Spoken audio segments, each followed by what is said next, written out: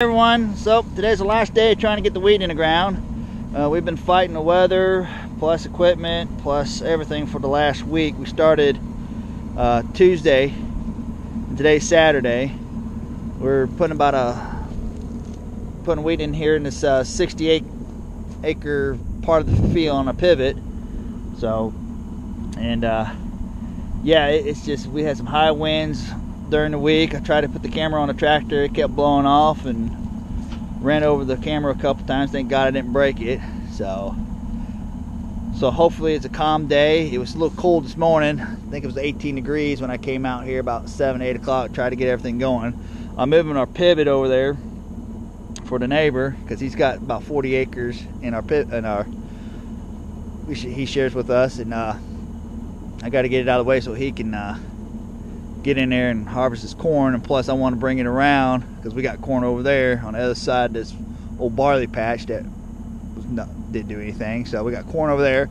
We're bringing the pivot around and then once I get it around and he harvests a little bit up his uh, cornfield I'm gonna hook up the pump to the motor and start irrigating this uh,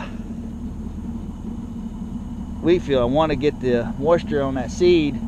We were supposed to have some snow but it got out of the forecast so we're gonna put about a maybe an inch in. We got some warm weather. I think it's supposed to get in high in the 50s this week and maybe low in 30s but seed germination is 35 degrees so hopefully we'll get some moisture on that seed so it can start germinating and we'll start seeing a little bit of wheat coming up before it goes into dormant. A little something we're doing different this year is uh, bumping up our population. Last year we put out 90 pounds an acre just to try it out, and now we're trying it to 135.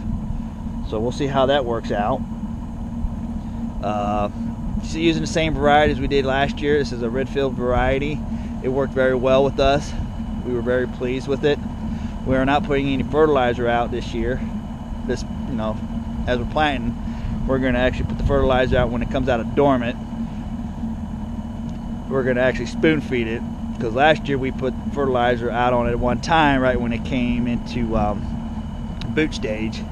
And our fertilizer leached out because we had a lot of rain and plus we were irrigating. So we didn't get the, quite the yields we wanted. I think the lower part of the field that we were at last year it got about 60 70 bushels and then up on the higher area it got maybe about 40 so we're hoping to put that in in the spring, spoon feed it. So probably get a better yields and probably bring up our protein a little bit. So uh, yeah, I hope you guys enjoy the video. We're gonna try to do as much as we can. We have about another five acres to finish up and then we'll be done. And then I'll go back to finish harvesting beans and then off to harvesting corn. So enjoy.